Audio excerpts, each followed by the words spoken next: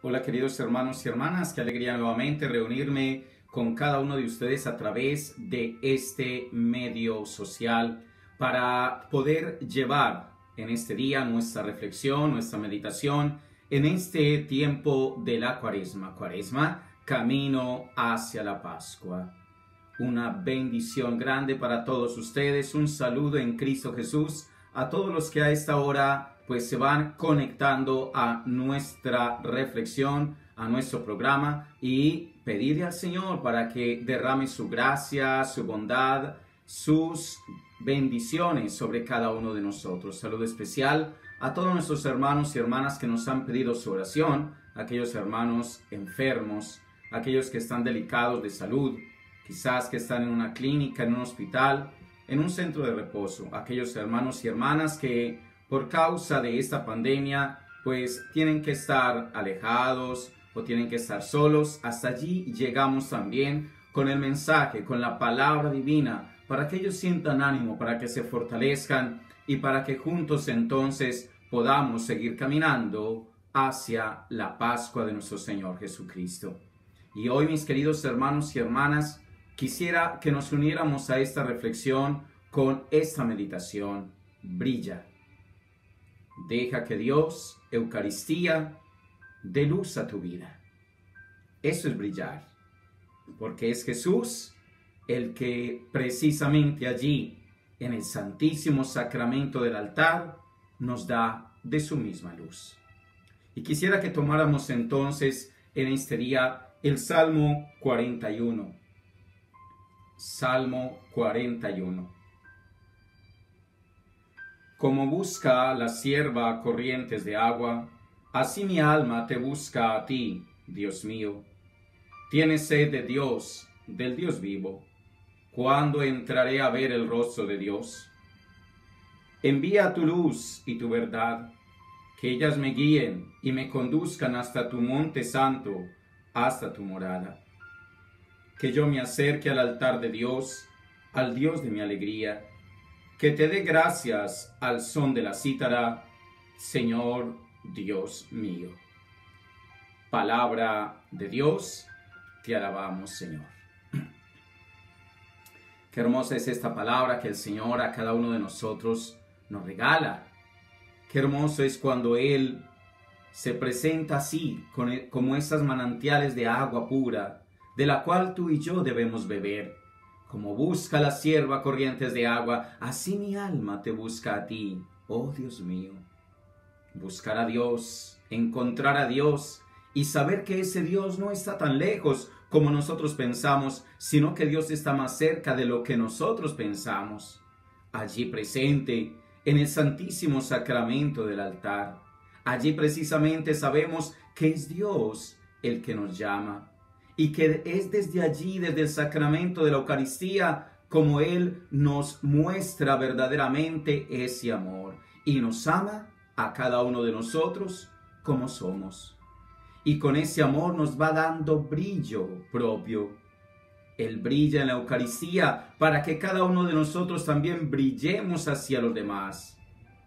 Por eso, cuando nos acercamos a ese Jesús, nosotros no tenemos más sino que decirle, Tú tienes palabras de vida eterna y sabemos y hemos creído y conocido que tú eres el Hijo de Dios. Sí, mis queridos hermanos, en la Eucaristía está verdaderamente presente el cuerpo, la sangre, el alma y la divinidad de todo un Dios.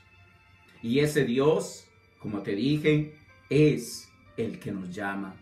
Ese Dios es el que nos espera para que con esa luz radiante pueda iluminar esas cegueras de nuestro corazón y pueda darnos la luz de su gracia y de su espíritu. Qué bueno y qué bonito es cuando tú te presentas allí ante Jesús, cuando vas a la presencia de la Eucaristía, cuando tú te inclinas hacia Él para adorar resueltamente este santísimo sacramento. Y allí por medio de ti y en el Espíritu Santo, Él nos comunica sus gracias, sus dones. Queremos llegar al Padre del cielo para decirle allí nuestro sí definitivo, nuestro sí unido a la Eucaristía.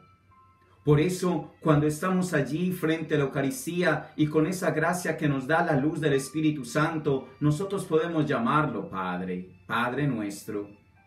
Y podemos seguirlo a Él porque como nos ha dicho y nos dice la palabra divina, Él es el camino, Él es la verdad y Él es la vida. Qué hermoso, hermanos y hermanas, cuando nosotros queremos penetrar allí en el silencio de Dios. En ese silencio que nos invita al recogimiento, en ese silencio que nos invita a la ternura, en ese silencio en el cual Él nos habla profundamente. Y es como si allí, en ese silencio de Dios, nuevamente se rasgaran los cielos y entonces si escuchara la voz del Padre que nos está diciendo, mira, este es mi Hijo, mi amado, mi predilecto, escúchalo. Ese Jesús que se nos presenta en la Eucaristía es el Jesús al cual cada uno de nosotros contemplamos llenos de gozo, llenos de esperanza, porque sabemos que Él verdaderamente vive, porque sabemos que siempre está allí, intercediendo por cada uno de nosotros. Qué hermoso uno dejarse llenar de esa luz de la Eucaristía continuamente. Y allí, llenos de esa luz, nosotros decirle a ese Jesús, Señor, tú eres nuestra esperanza, Señor, tú eres nuestra paz, Señor, tú eres nuestro mediador, tú eres nuestro hermano, tú eres nuestro amigo, tú eres nuestro Dios. Hoy el Señor nos invita a que dejemos que Dios Eucaristía dé luz a nuestra vida, para que brillemos, para que de verdad esa luz pueda penetrar en el corazón de muchos más y nuestro corazón se llena de gozo y nuestro corazón se llena de esperanza al saber que Él siempre vive intercediendo por cada uno de nosotros.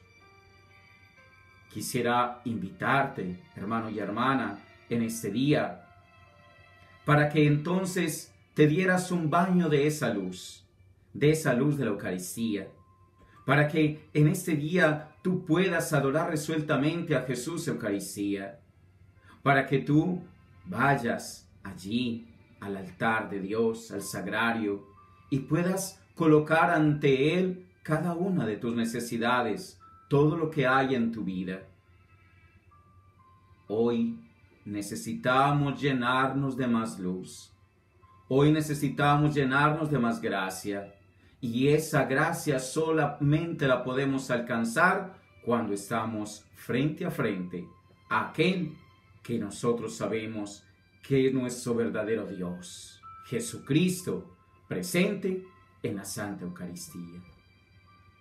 Y entonces quisiéramos decir, como decía el apóstol San Pablo, para mí la vida es Cristo y lo demás es ganancia. Es que nuestra vida, mis queridos hermanos y hermanas, no tiene sentido si no es precisamente a los pies del Maestro. Y allí, creyendo, esperando, amando y adorando, con una actitud verdaderamente sencilla de presencia, de silencio, de espera, que quiere ser también reparación como respuestas a esas palabras que Él mismo nos dice continuamente, quedaos aquí y velad conmigo. Si tú supieras, mi querido hermano y hermana, cuántas gracias recibimos allí en la Eucaristía, cuánta luz, cuánto brillo de Jesús sobre cada uno de nosotros. Dale gracias infinitamente. Dale gracias a ese Jesús que se hace presente allí en el Santísimo Sacramento y que te invita resueltamente a adorarlo. Que hoy entonces cada uno de nosotros tenga esa actitud, la actitud de dejarse iluminar por Cristo, ese Cristo que sabemos muy bien que está allí presente en la Eucaristía. Que el Dios de la paz te conceda la paz, que el Dios de la salud te conceda la salud, que María Santísima te cubra con su manto, sea el Señor Jesús tu delicia, y Él te dará todo lo que pida tu corazón. Y que la bendición de Dios Todo Bondadoso, Padre, Hijo y Espíritu Santo, descienda sobre ti, tu familia, y te acompañe siempre. Amén. Hasta mañana, si Dios quiere.